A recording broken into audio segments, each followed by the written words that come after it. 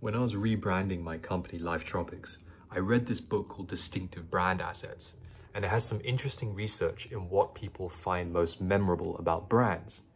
And the truth is that people find most memorable character logos, so mascots, not jingles, not colors, not taglines, not any of these other kind of things, but in terms of memorability, mascots is what people remember the most. So that's why when I rebranded the company, we now have this crazy bird in the logo.